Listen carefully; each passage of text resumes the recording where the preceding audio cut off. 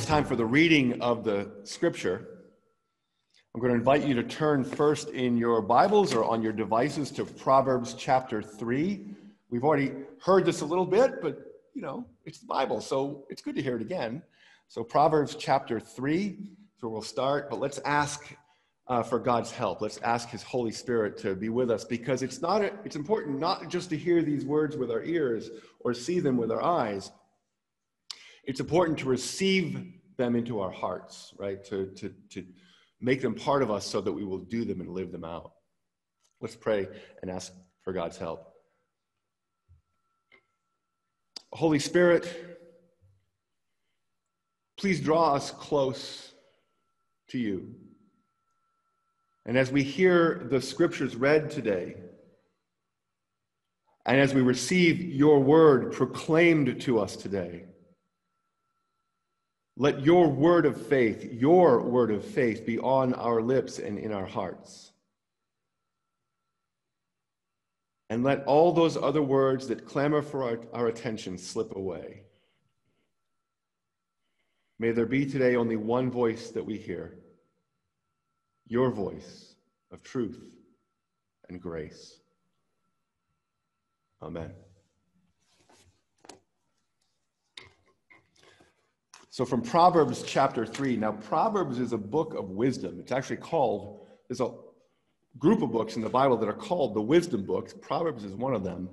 And Proverbs represents to us a picture of how God's people might live lives that are aligned with God's perspective on the world. We've talked about that. Wisdom is agreeing with how God sees things. Now, in this portion of Proverbs, the teacher is exhorting young people to forsake the foolishness of living without God, without regard to God, but rather to live lives that are characterized by God's wisdom. Let's hear what God has to say. My son, do not forget my teaching, but let your heart keep my commandments for length of days and years of life and peace they will add to you. Let not steadfast love and faithfulness forsake you.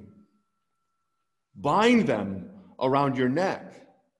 Write them on the tablet of your heart. So you will find favor and good success in the sight of God and man. Trust in the Lord with all your heart, and do not lean on your own understanding. In all your ways, acknowledge Him, and He will make straight your paths. Be not wise in your own eyes. Fear the Lord. Turn away from evil. It will be healing to your flesh and refreshment to your bones. Now, if you turn to Paul's letter to the Philippians, Paul's letter to the Philippians, chapter 1, we'll read verses 3 through 11. Now, this letter of Paul's was written to the Jesus community in the Roman colony city of Philippi, hence the name Philippians, right? And Paul had visited there several times. We have record of at least two times, possibly more, where he visited there. He knew these people well, he loved these people well, and this comes out in his letter. It's important to remember this is a letter. We're reading other people's mail. So um, let's hear what Paul says to them and how he prays for them. I thank my God in all my remembrance of you, always and in every prayer of mine for you all making my prayer with joy because of your partnership in the gospel from the first day until now. And I'm sure of this that he who began a good work in you will bring it to completion at the day of Jesus Christ. It's, it's right for me to feel this way about you all because I hold you in my heart. For you are all partakers with me of grace, both in my imprisonment and in the, in the defense and confirmation of the gospel. For God is my witness, how I yearn for you all with the affection of Christ Jesus. And it is my prayer that your love may abound more and more with knowledge and all discernment, so that you may approve what is excellent, and so be pure and blameless for the day of Christ, filled with the fruit of righteousness that comes through Jesus Christ to the glory and praise of God.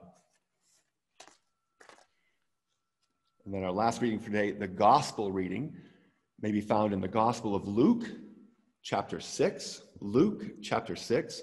Now, we normally, when we think of Jesus' Sermon on the Mount, we normally think of Matthew, chapters 5 through 7, but Luke also wrote an account of this teaching of Jesus. It's a shorter summary than what we have in Matthew, but you'll recognize many of the key points even in the reading that you'll hear today.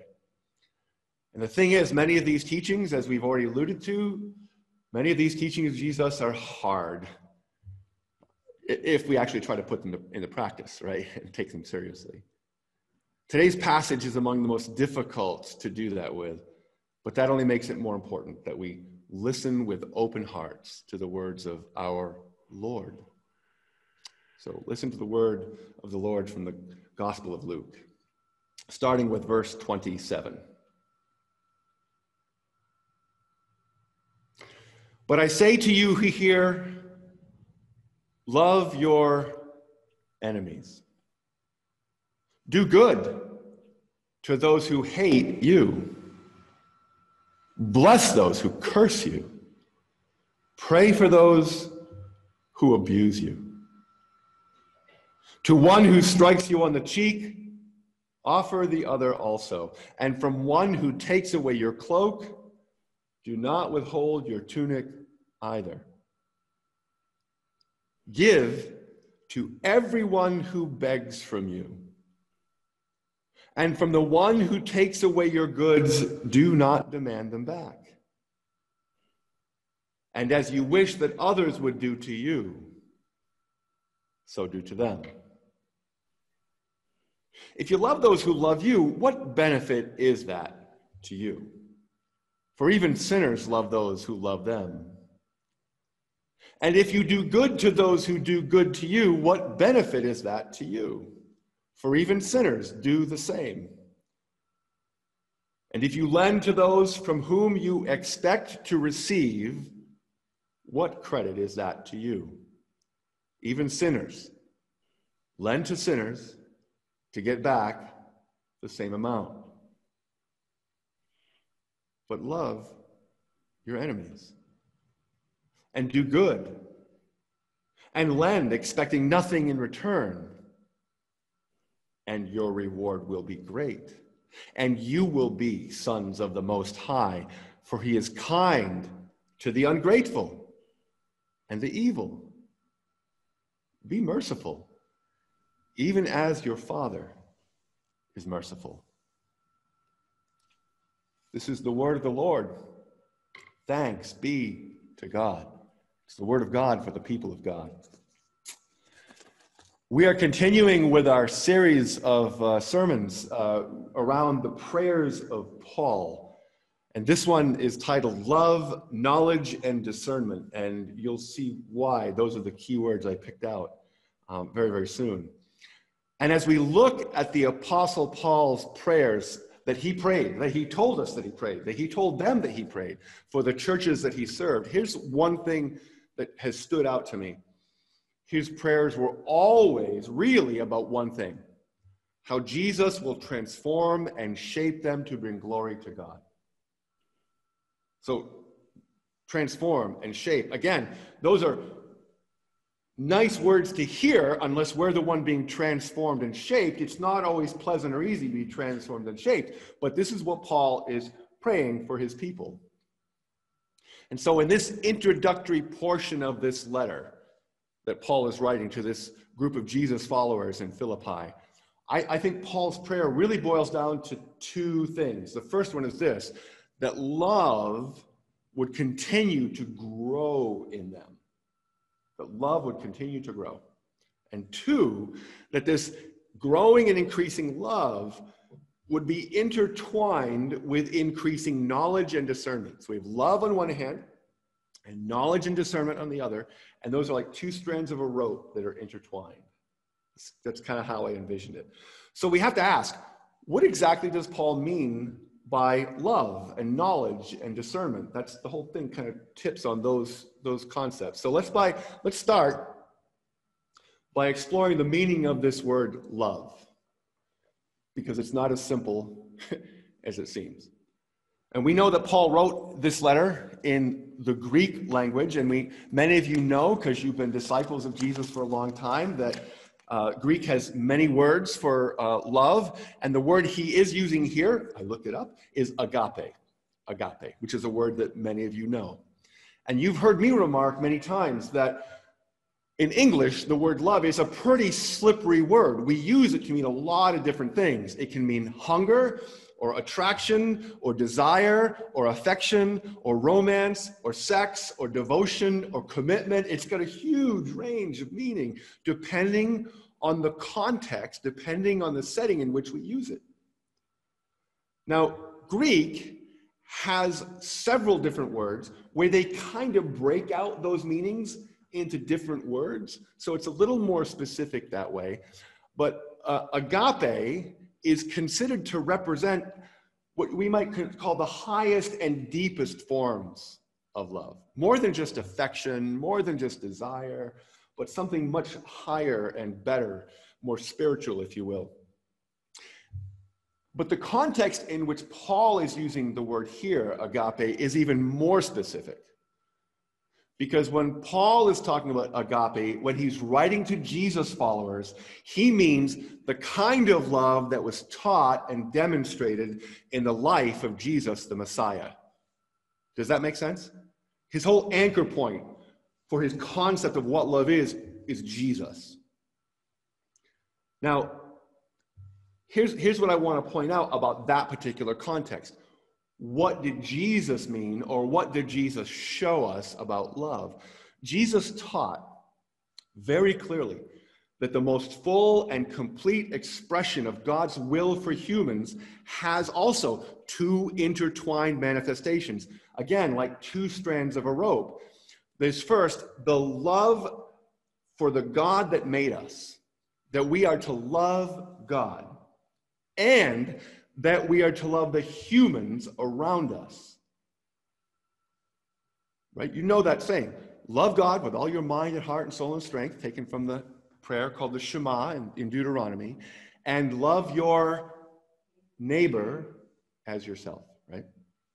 And it's not an either or, it's a both and. So Jesus taught that's what love looks like.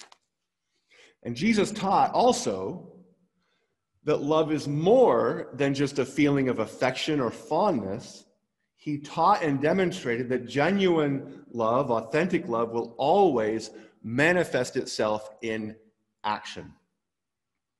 Love is a choice that humans make to seek the well being of people who are not you, people other than yourself.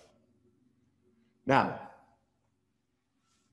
that concept kind of stands by itself. But Jesus, being Jesus, he takes that concept and extends it out even further because he also taught and demonstrated that love means seeking other people's well being without expecting anything in return. That's hard. Especially from people who are in difficult situations, who cannot repay us, even if they wanted to. Take a moment. Who do you know? Who can you think of that fits that description? Just, yeah. So Jesus says, love that person. And then Jesus being Jesus, he doesn't leave that there. He extends that even further. teaching that the ultimate standard of authentic love, as we heard read from the gospel, is to love the person that you can't stand. Now, no, I put it that way because I don't think we have that many superheroes here who have enemies, right? I don't think we have any, uh, you know, spies, right, who have enemies. But there are people that you can't stand, that rub you the wrong way. There are people that treat you badly, who have taken something from you, who have injured you or offended you in some way. To put it more in the words of Jesus, you shall love your enemy. Do good things for them and expect nothing in return. Who do you know who fits that description? Yeah, Jesus says, love that person. And of course, thank God, we know that Jesus not only taught this, he demonstrated it. For in telling the truth about the hypocrisy and corruption of the leaders of his people, he made them into his enemies. But instead of attacking his enemies to overthrow them through some political plot or military action, he allowed them to kill him. He gave himself over to them to kill him. Why? Because he loved them. The response of Jesus to selfishness and the corruption of his enemies was to die for them. This is why I said earlier, that's crazy talk. How can that accomplish anything? And yet, this is the way that God chose to solve the problem of humanity's sin and rebellion. The power of God's love for the world isn't power the way we think of it at all. It is self dying, self sacrificing love. Turns out that such love isn't weakness. It turns out, in God's eyes, in God's wisdom, that such love is ultimate power. That's something to meditate upon. And it's this kind of love, it's this kind of cruciform love, this kind of cross shaped love that Paul is asking God to cause to grow thrive and flourish and proliferate and overflow within that Jesus community in that city of Philippi. And I tell you, United Baptist Church, I'm pretty sure I have never met the Apostle Paul, but I'm pretty sure if he knew you, he'd pray that for you too. And so, you know what? I pray that for you too. and I would encourage you to be praying that for each other. Can you imagine what it would be like to be part of a community where that kind of love was the defining characteristic. Think about that for a moment. That would, of course, mean that you'd have to love that way too. but to love that way and receive that kind of love, imagine what that would be like. Now, with that in mind, let's ask what does Paul mean then by knowledge and discernment? It's it's a little easier to talk about this. Uh, we can cover it pretty quickly. Knowledge is facts, information, data, stories, images, ideas, all that kind of stuff falls under the concept of knowledge. But here's the thing in 21st century America, we know all about knowledge, don't we? We are swimming in knowledge. We are drowning in knowledge. Anybody feel like they're drowning in knowledge every once in a while these days? But our brain and our, and our brains are so constantly assaulted and overwhelmed by all this knowledge that some people, you know, we, we have to take pills and get counseling to deal with the stress and anxiety that all this knowledge creates. And you see, it's not about the amount of knowledge so much, it's really more about the kind of knowledge, because there's knowledge that's good and there's knowledge that's bad. And that isn't just a matter of true and false right? But it's also that some knowledge that is true is bad to know. right? It's when we see something, we go, oh, I can't unsee that. I wish I could unsee that. I wish I could unhear that. And this is why Paul prays that love will grow and flourish with knowledge and discernment and discernment because discernment is the wisdom that helps us determine what's good knowledge and what's bad knowledge according to the way that God determines it. Knowledge and discernment have a purpose. And I took this from Michael Horton, who um, is a teacher and preacher who talks about how love intersects with knowledge and discernment and directs it along what he calls four coordinates. Four coordinates. Now, the first one is where we find that the knowledge of God, what God has revealed about himself, about his character, and his way of working in the Bible, what he's revealed in the Bible, we find first and foremost is a drama. It's a story. The Bible is a drama, a big story, uh, and, and Christ is the beginning of that story, and Christ is the end of that story, and Christ is everything in between. The drama.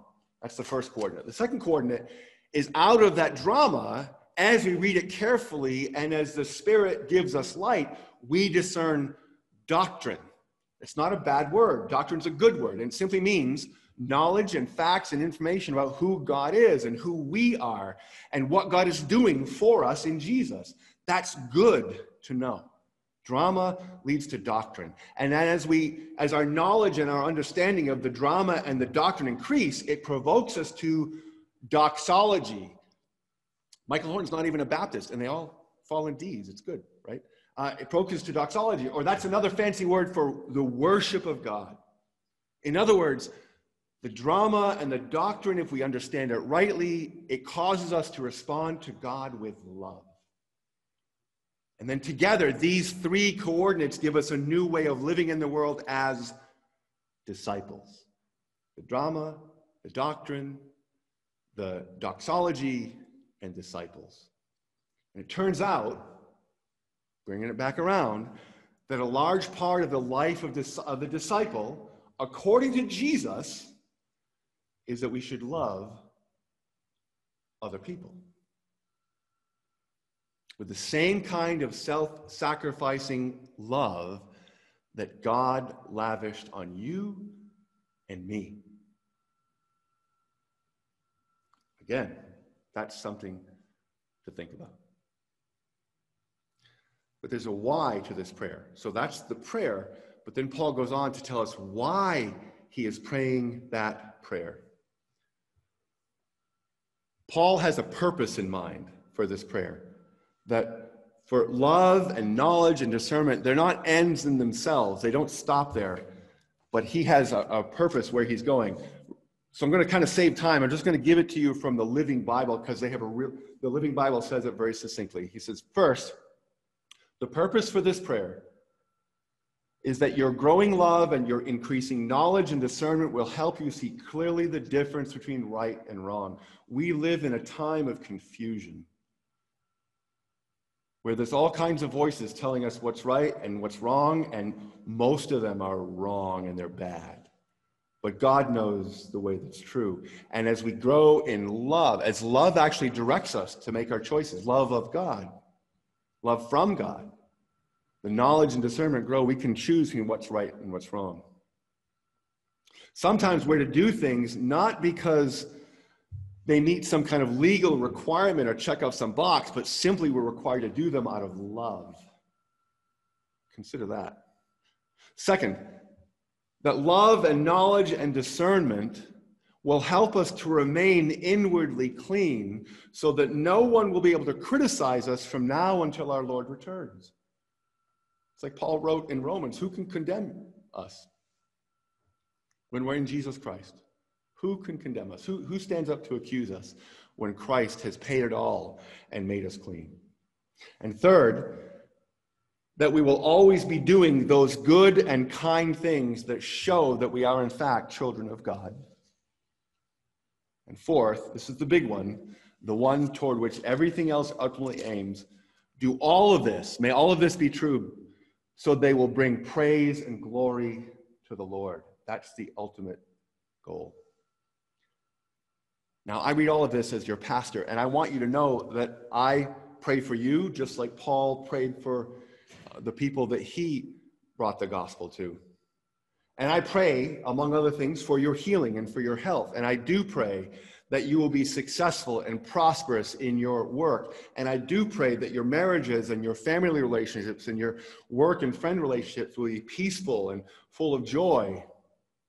But I want you to note that as we go through this sermon series so far, and even as we go forward, that Paul never prays those kinds of things for his correspondents, or at least he doesn't tell them that's what he prays. He probably does, but that's not the top of mind thing that he writes down to tell them about. The goals of their prayers, or of his prayers, are always that they would live lives that bring praise and glory to God. That's the main thing. And that this would be true regardless of their health, regardless of whether they're rich or poor or struggling or comfortable. If you read the rest of the book of Philippians, this letter, you'll see that's a theme that comes up again and again and again. Paul prays that the good news of Jesus would not be just another item of information swimming in a sea of information out there but detached from their lives. Paul prays that the drama of Christ's love as demonstrated when Jesus took on a human body and died for us on the cross. And the doctrine that describes his matchless grace and his infinite mercy, all of it undeserved, all of it just purely out of his love for us. Paul prays that that would penetrate, that truth would penetrate to the deepest places of our inner being and drive us to wholehearted worship of Him, not just on Sundays, but every day.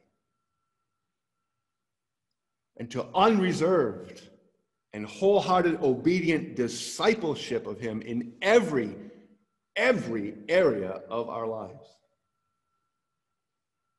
So I think this is what Paul meant.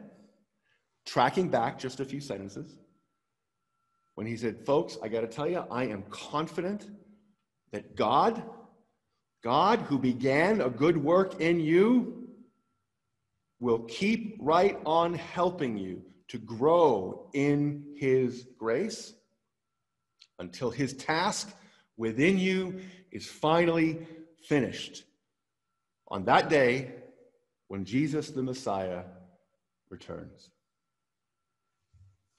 That work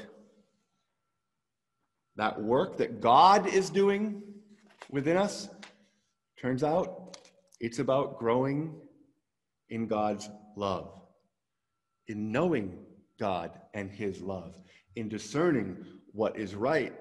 Does it really fall in line with God and His love? It turns out that love and knowledge and discernment help us to live lives of praise and glory to God. May this indeed be God's work right now, today, in you and in me. In the name of the Father, and the Son, and the Holy Spirit, may it be so. Amen.